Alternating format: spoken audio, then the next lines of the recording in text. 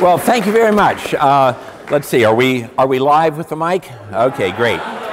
Okay, now, uh, how many of you, would everybody who is part of the debate team here at Shadyside raise their hand? What, is there, is there no debate team here?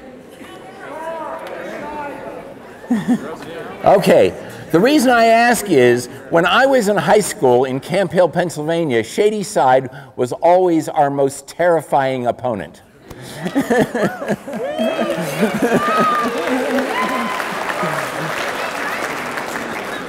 And I really think that my training in debate was one of the, uh, the important things in my, uh, in my career as a scientist because learning how to speak is an important part of spreading your, your scientific knowledge. But let's get going. Uh, here we are. We're going to talk about time, Einstein, and the coolest stuff in the universe. And the thing I want to point out is where I'm from. I'm from uh, the National Institute of Standards and Technology, an agency of the U.S. government that uh, provides the standards of measurements. I'm also from the University of Maryland, and I'm part of the Laser Cooling and Trapping Group. And these people, Gretchen Campbell, Paul Lett, Trey Porto, and Ian Spielman, are my uh, colleagues. And of course, we have to thank the people who give us money. So there's the people who give us money. And uh, I want to emphasize we're going to have fun today, okay? So, uh, so, so, so now you may ask, okay, what does time have to do with Einstein? And uh, the answer is that Time put Einstein on the cover of their magazine uh, as the person of the century. And uh, uh, it was a great choice because uh, Einstein changed the way we think about our physical world in so many ways. And each one of these things that I'm showing you here, can we take the lights down a little bit? Uh, super. So each one of these things I'm showing you here would, be worth a one hour lecture, but we don't even have an hour here. But probably the thing he's most known for is the theory of special relativity, the theory that tells us that space and time are relative to who is looking at them. Before Einstein, people thought that space and time were like a fixed stage on which the events of the universe played themselves out, like this stage. But Einstein told us that wasn't true, that the stage was actually part of the action. And he came to that conclusion by asking himself a question that I think people have been asking themselves since the beginning of human time what is time? What is this strange thing that is always in the present but will soon become the past? Why is tomorrow always one day away? Uh, people have been asking themselves questions like that since the beginning of human time, and what Einstein gave as an answer may strike you as being a bit superficial. He said, Time is what a clock measures. But by taking that idea seriously, he came up with his ideas about the relativity of time. But if time is what a clock measures, you may ask, what is a clock? Well, a clock for me is something that ticks. The earliest clock is the rotating Earth. Now, ancient people did not know that the Earth was rotating, but they saw the sun rise and set every day, and that allowed them to tick off days. As technology increased, uh, people understood that a pendulum swinging back and forth could be a ticker for something like this grandfather's clock that you see right here. Some of you, although probably very few of you, may be wearing a clock on your wrist. Exactly. Most people just get their time from a cell phone, but I'm old school and I like to look at my, uh, my wristwatch. And this is a calculator watch. It's really retro. I mean, it's, it's really hard to find a clock like a watch like this anymore because it's just so retro. But uh, the, the ticker for this clock is a quartz crystal that looks sort of like this. It's in the shape of a tuning fork, and it is the ticker for this quartz watch. All these clocks have tickers, and all of these tickers are imperfect in one way or another. The best tickers are atoms. Now, why are atoms tickers? It's because atoms have certain very distinct energy levels, and in order to go from one energy level to another, you shine in radio waves or microwaves or light that is electromagnetic fields oscillating at a certain frequency. That frequency is the ticking frequency of the atoms. And so the great thing about atoms is that every atom of the same kind is absolutely identical to every other atom of that kind in the entire universe. We've agreed by international treaty that a certain number of ticks of a cesium atom Cesium-133, a specific isotope of cesium, is going to equal one second. About 9 billion ticks of a cesium atom is going to equal one second. And it turns out every cesium atom, as far as we know, in the entire universe is absolutely identical to every other one. So this is great. Every watch is made a little bit differently from every other watch, but every cesium atom is absolutely identical. And so it, they make great clocks. They're also very little affected by things like temperature and humidity and pressure. We keep them in a vacuum. So these really make great tickers. Now you might ask, how good are these clocks? Well, for less than $100, you can buy a quartz watch like this. It costs a lot because it's retro. I mean, you can get a much cheaper watch than this retro one. And it'll be good to about 30 seconds in a year. That's a part in a million. Pretty good for a watch. But if you're willing to pay $100,000, you can buy an atomic clock that is good to a part in a million million or 30 seconds in a million years. Now you may say, well, wait a minute, $100,000 for a clock? Uh, who's going to pay that? But think about it this way. You pay a thousand times more money and you get a million times better performance. I think that's a bargain. but you still may ask, why does anybody need a clock that is that good because after all, we don't need to know what time it is to that level of precision in order to go about our daily lives. Or so you may think. So you may think. I now want to convince you that you are very happy that someone is keeping track of time to that level of precision. I found this ad in a magazine once. It says, uh, if you're in our car uh, and you get into trouble, don't worry because help is only 10,000 miles away. And the 10,000 miles they're talking about is the orbiting altitude. Can we turn down a little bit more the, the, the stage lights? The, the orbiting, great, the orbiting altitude of uh, the satellites of the global positioning system, the satellite navigation system. And, uh, and with this satellite navigation system, you can tell where you are anywhere on the face of the Earth to within a few meters, and someone who has access to it can know where you are and come and help you. And that's the idea of this ad. But how does this work? It works because of atomic clocks. The kind that costs $100,000. Except these clocks go up in satellites and they cost a lot more money because anything that goes in a satellite is going to cost a lot of money. So here's the idea.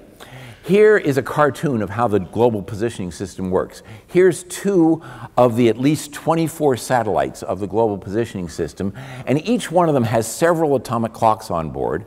And here you are with your GPS receiver. Now, you don't have a clock in your GPS receiver, but let's just imagine for a moment that you do, just for the sake of argument.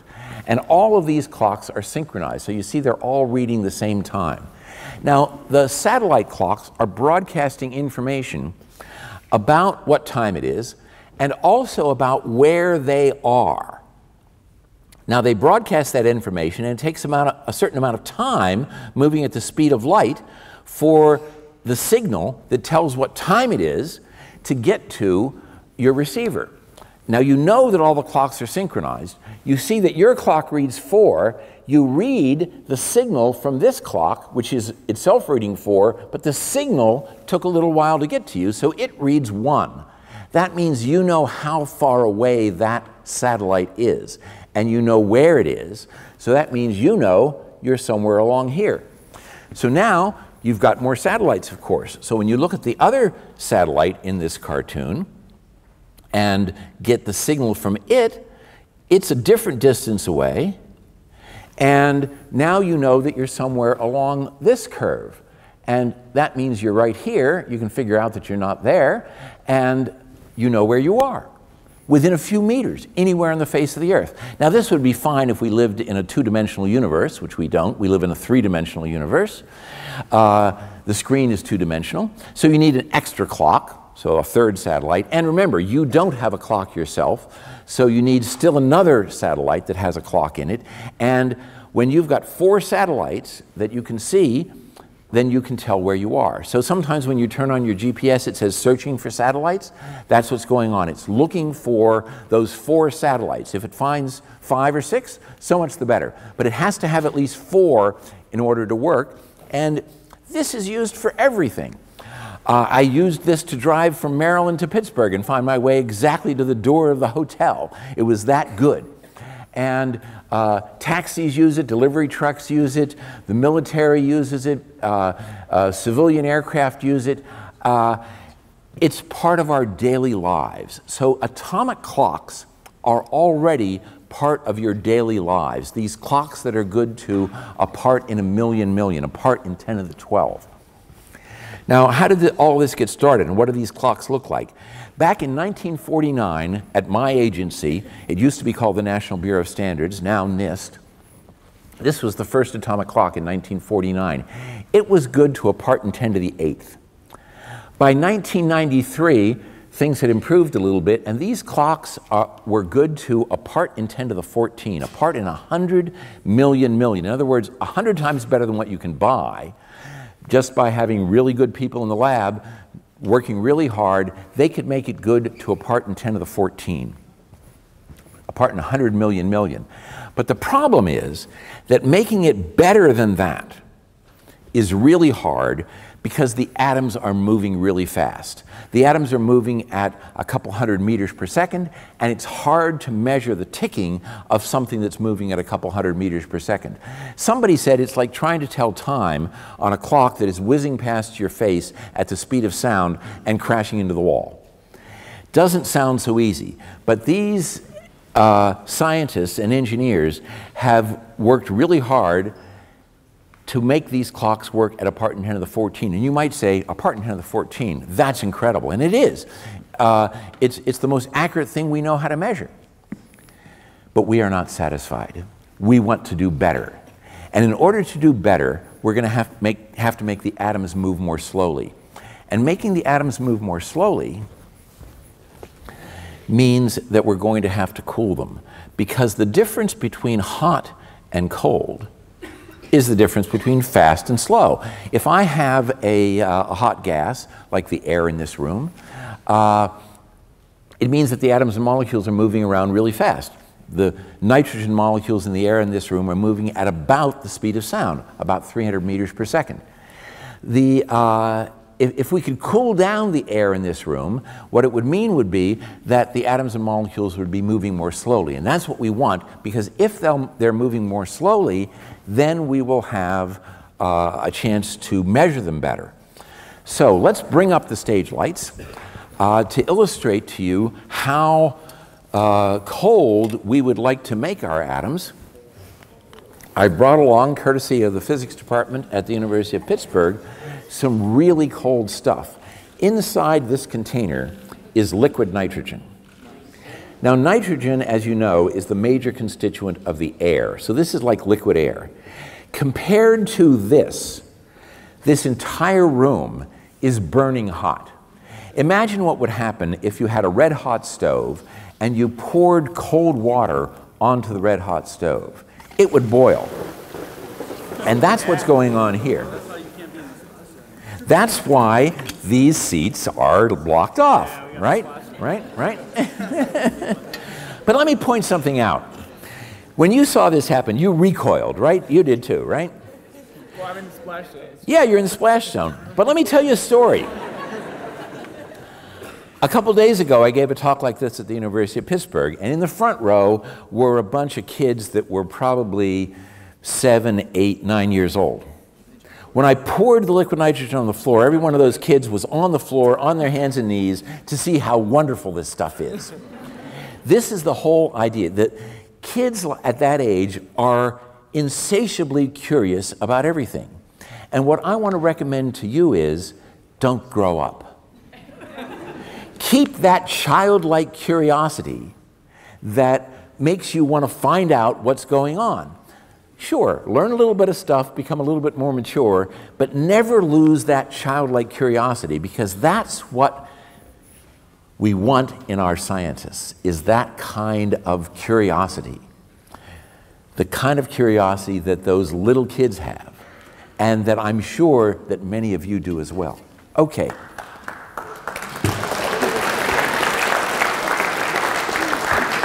This stuff, this stuff is incredibly cold. And in order to uh, uh, uh, cool down a gas, we might think it's a good idea to uh, refrigerate it using this really cold stuff. So here I have a traditional container for hot gas. I'm from the Washington area. We have plenty of hot air there.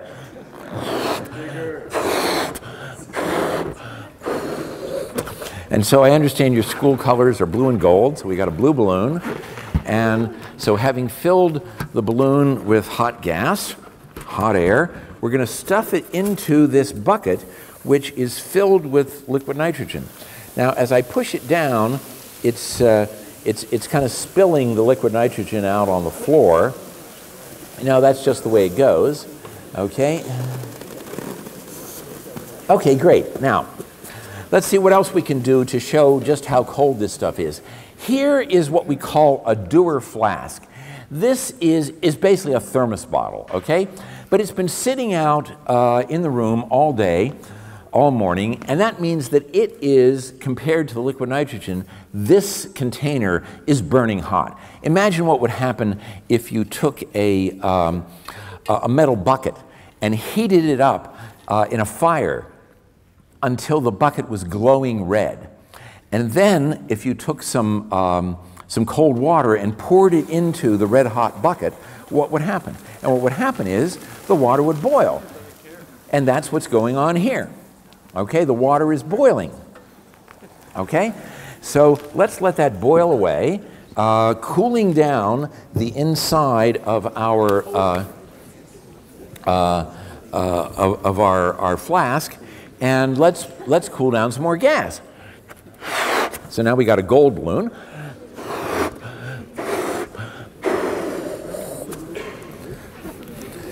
Because, you know, if we want to do experiments with cold atoms, uh, we want to want to have plenty, so we'll, we'll cool down some more, some more atoms and molecules in the air in this balloon by, by stuffing this one into the liquid nitrogen as well.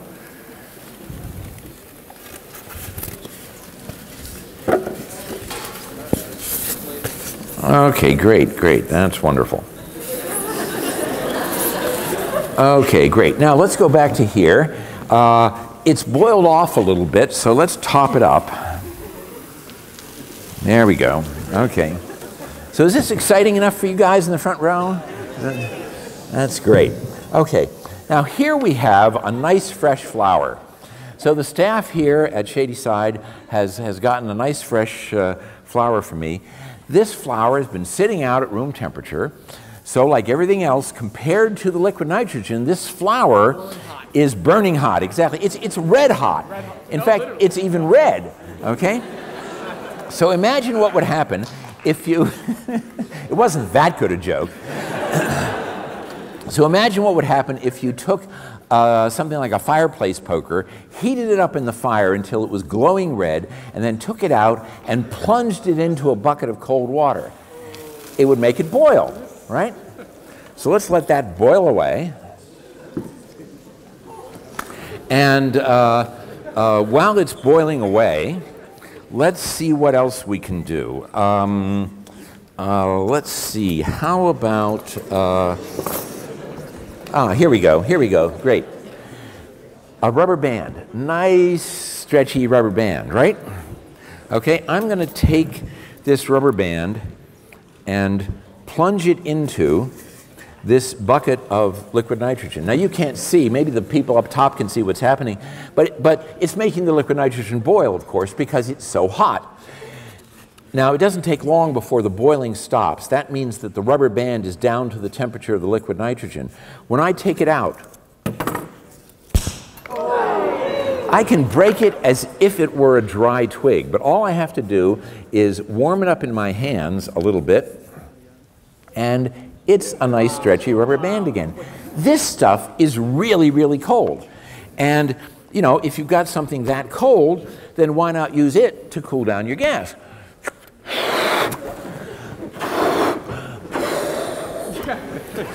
So let's, let's cool it because, you know, we want to make sure we got plenty of cold gas to, uh, uh, to do our experiments. So let's, let's cool down a little bit more gas.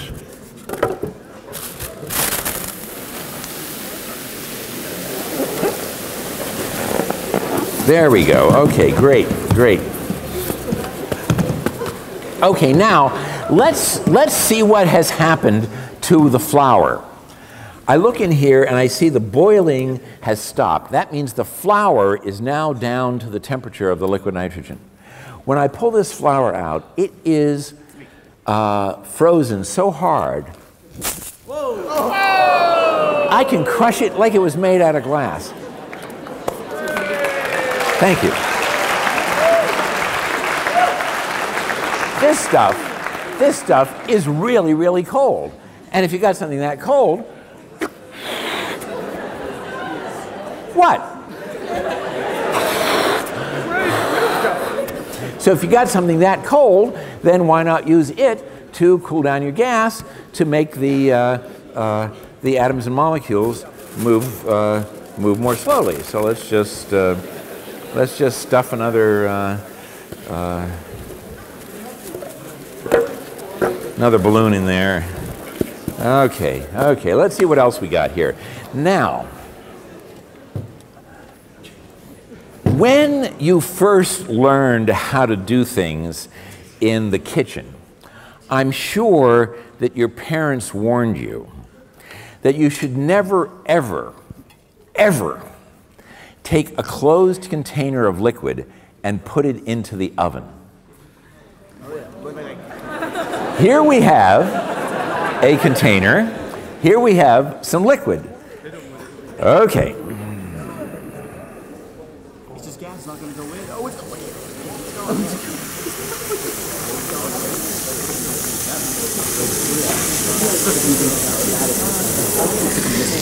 Okay, I think that's enough. And now we're going to close it really, really tight. And compared to this liquid, this entire room is an oven. So let's put it in the oven and let's, I don't know, let's baste it a little bit.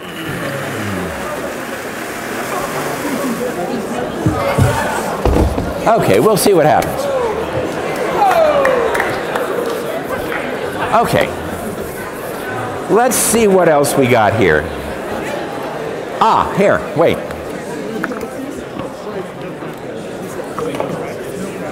Here is a nice Nice bouncy rubber ball. This is a regulation racket ball, okay? Nice. No, no, it's a racket ball, not a squash ball. Squash isn't nearly as, as, as suitable for the purpose. I'm not, have nothing against the game of squash. But, uh, but, but a, a, for suitability for this purpose, a racket ball is what you want because it's nice and bouncy. Okay, I'm going to put the racket ball into the liquid nitrogen and let's see what happens. In the meantime, let's, uh, let's put some more uh, gas in. what?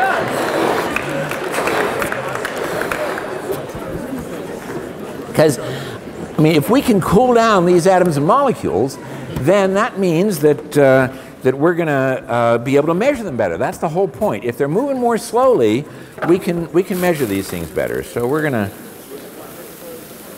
yeah, it's getting a little crowded in there, so I got to push it in. But, you know, just, just force it in and it'll be fine. Okay, good. Good. Now let's see. Uh, let's see. What else do I want to do? Oh yeah, let's let's go ahead and see what has happened to our uh, racquetball. Okay, so you remember how nice and bouncy the racquetball was?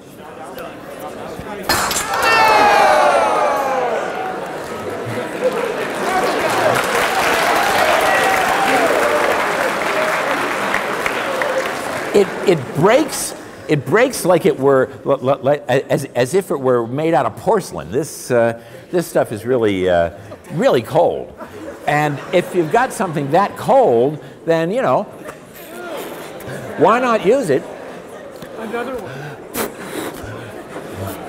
Because we got to have lots of, lots of gas if we want to, Must be lightheaded. if, if, if we want to do an experiment. So somebody said that I must be lightheaded, and the answer is, of course, because light is what it's all about. Light is what I use in my lab all the time. Okay. Now, okay, so let's talk a little bit about just how cold this stuff is. In order to understand how cold liquid nitrogen is, it's helpful to think about the temperature scale that physicists use to measure temperatures. Now, uh, in ordinary life, we want to know how hot or cold it is outside. We'll use the Fahrenheit scale or the Celsius scale. If it's freezing outside, it's zero Celsius, right? Sometimes it goes below freezing. You know, it might be minus five Celsius on a cold day, even minus 15 sometimes. Well, physicists don't like these negative temperatures, and so we've developed a temperature scale called the Kelvin scale, in which the lowest possible temperature is called zero, absolute zero. Now, why is there a lowest possible temperature? Well, remember, temperature is about motion. The faster the atoms and molecules are moving, the higher the temperature. In fact, temperature is a measure of the kinetic energy, the energy of motion of the atoms and molecules that make up whatever the stuff is. So uh, the slowest you can go is stopped. And that means there's a lowest possible temperature, which is what we call absolute zero.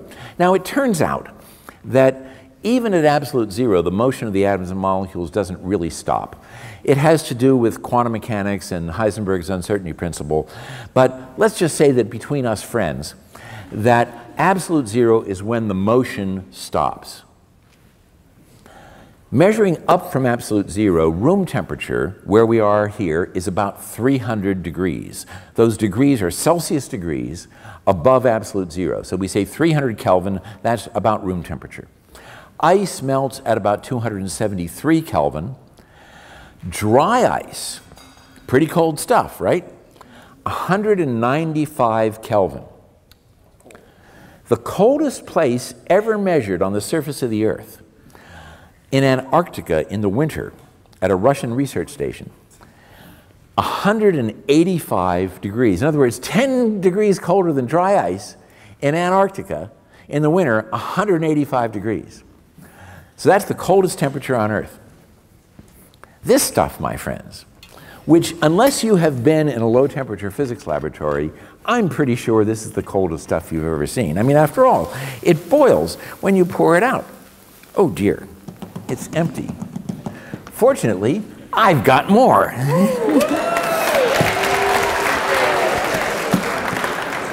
boils when you pour it out on the floor it's just amazing. I mean, this, this, this stuff is just so wonderful. The temperature of this, remember, coldest place on the earth, 185 Kelvin. This stuff is 77 Kelvin. 77 Kelvin, the coldest stuff you've ever seen. And so it seems perfectly reasonable that we would use it to uh, cool down our gas the only trouble was that I think some of you may have noticed that uh, there was something a little bit funny going on here. That uh, uh, it seemed like the volume of the balloons that went into this bucket was considerably bigger than the volume of the bucket. And the reason is that these balloons have turned into. Oh! Oh, fantastic! Fantastic. That's great.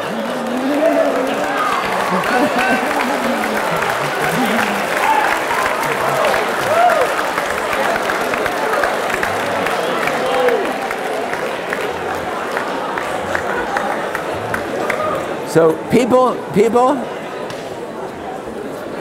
your, your mother was right.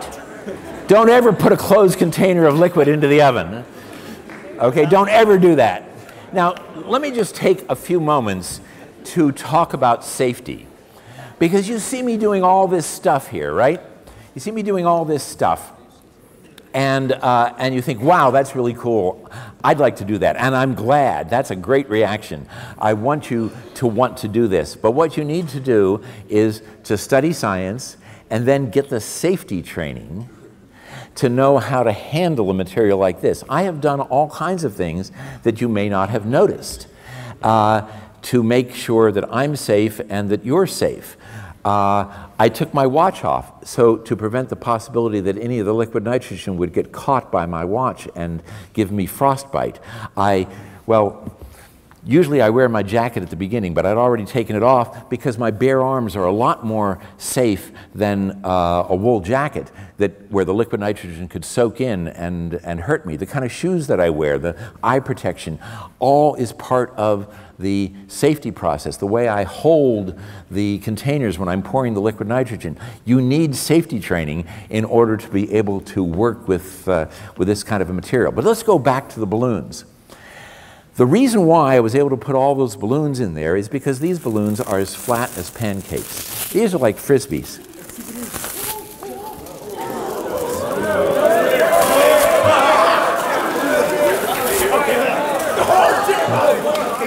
Okay, now wait a minute. Okay, how many, how many, how many balloons? Who knows how many balloons I put in?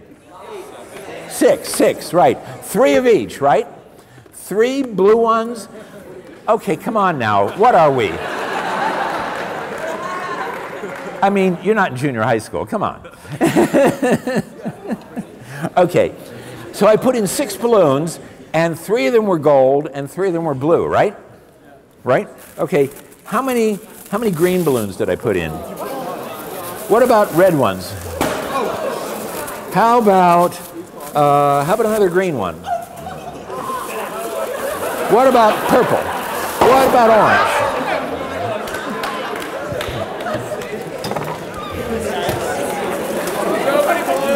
Well, here's another orange, uh, red, orange.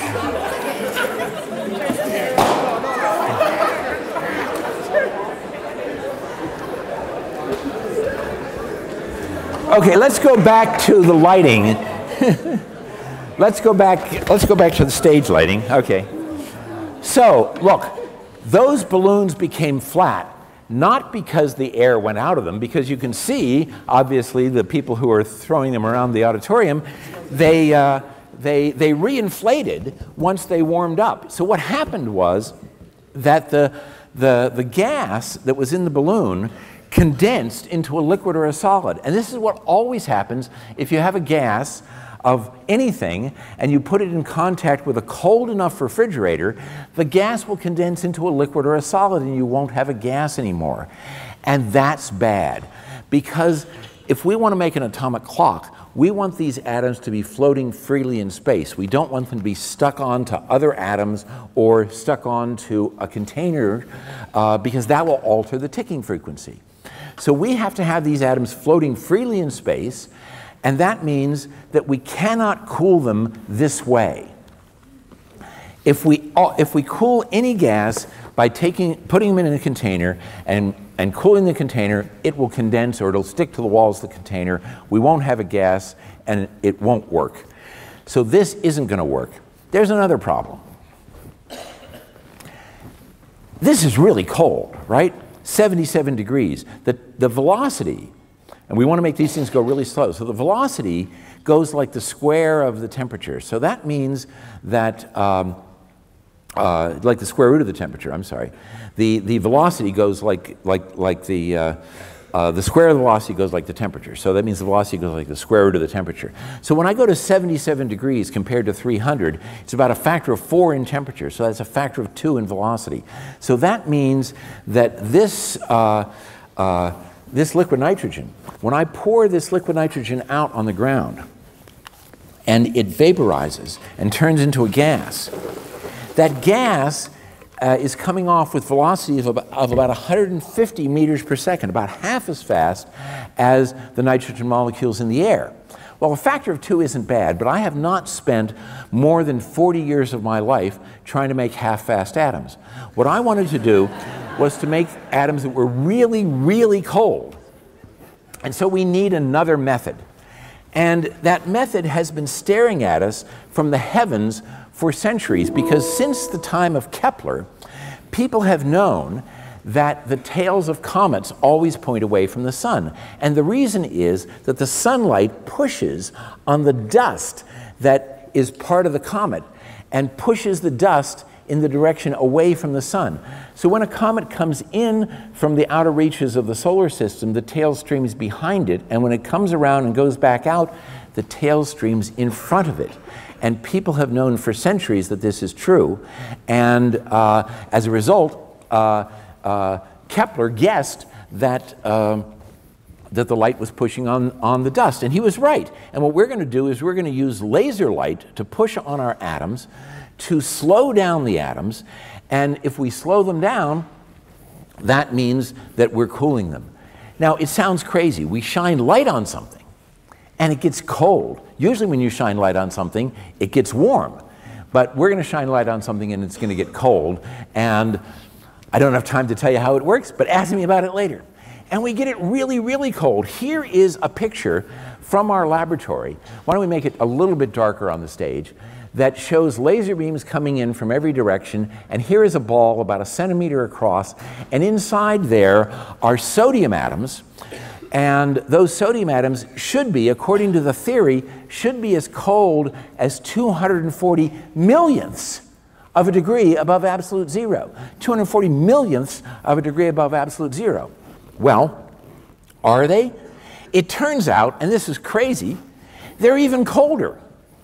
We discovered in 1988 that the temperature was much colder than was predicted. This is a violation of Murphy's Law. Murphy's Law says that whatever can go wrong will. Well, we were trying to make it as cold as we could, and we got it colder. It was amazing, and nobody understood why. Uh, we, were, we were totally uh, baffled. We had seen something that is the scientific equivalent of a snowball in hell, something far, far colder than what uh, we expected.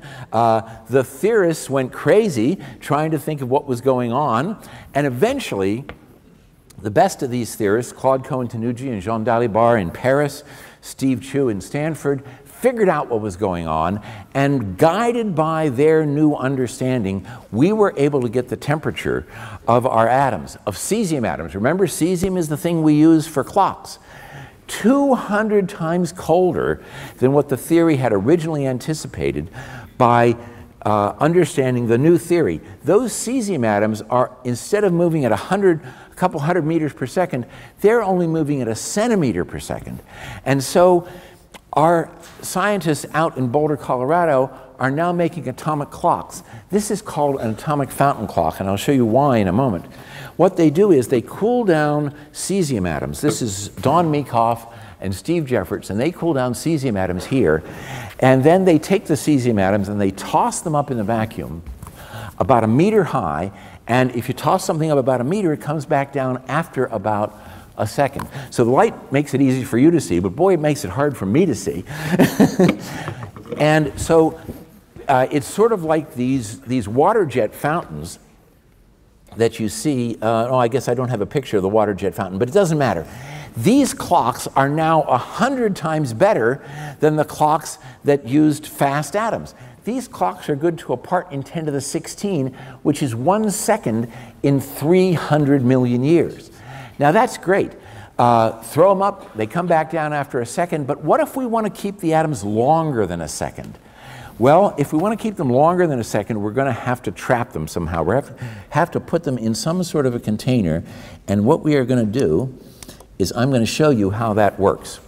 We can't put our atoms in any ordinary container. If the container was cold, then it would uh, make the atoms just stick to it. If the container is hot, it would heat the atoms up. So we have to use a container that doesn't have any materials in it. So let's have a little bit, whatever you think is the right lighting level to do this experiment. It turns out, oh, let's, yeah, it turns out all of you have played with magnets, right? Well, it turns out that our atoms are like little tiny magnets. Did you ever try to arrange magnets on a table and then try to make one magnet float above the other magnets? Well, that's what I've got here. I've got a big magnet here. I've got a little magnet here that represents our atoms. And this uh, uh, big magnet is pushing up on the little magnet enough so that it should float when it's sitting right here. And if I let it go, what happens is it doesn't float, it flips over and gets attracted to the big magnet. And that's what always happens when you try to do this with ordinary magnets. But you learn something else playing with toys as children, and that is that if you spin a top, it doesn't fall over. And it turns out that our atoms are not just little tiny magnets, they're little tiny spinning magnets. So we're going to spin this top, and now we're going to lift it to the place where uh, the magnetic field pushes up to keep it floating, and there it floats.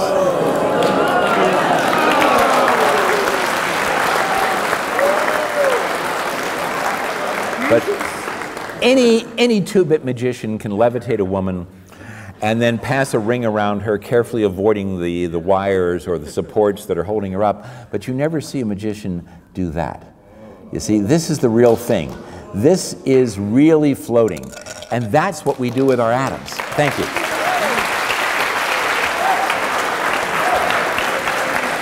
Okay, so now let's go back to let's go back to the PowerPoint and let's this that was no let, let's have it dark because the next thing is the dark movie. Good, that's great.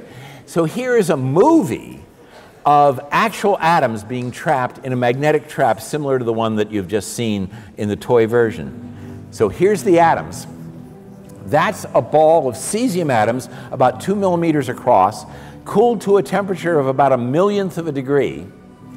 And these atoms are bouncing back and forth, and you see they, they go away after a little while because the vacuum isn't perfect.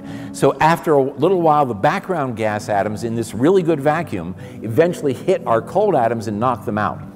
Now, we've made the, the, the vacuum better, and now people are trapping atoms not just in magnetic traps, but in laser traps and in ion traps that use, that use electric fields to trap atoms.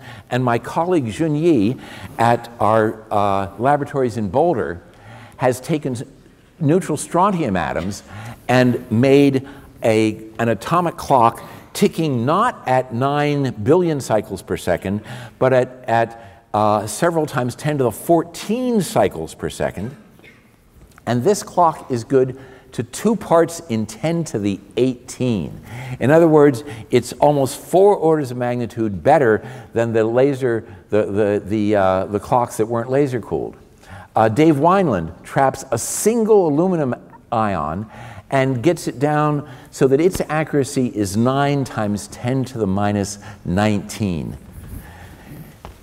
This is less than one second in the age of the universe, 10 to the minus 19. At the National Institute of Standards and Technology, where Dave Wineland works and where I work, an agency of the United States government, this is what we call close enough for government work. so now we're coming to, to the end of a kind of an odyssey. We can have the lights up now in which we are, have been searching for colder and colder temperatures. And I've illustrated that odyssey here on this cartoon of a thermometer that has a logarithmic scale. By a logarithmic scale, what I mean is each tick mark on here represents a factor of 10 change in the temperature. The top of this is the surface of the sun, about 6,000 degrees. Now that's not the hottest temperature there is in the universe, but it's pretty hot, right? On this scale, room temperature is just a little bit cooler than the surface of the sun. And liquid nitrogen, 77 degrees is only a little bit cooler than that.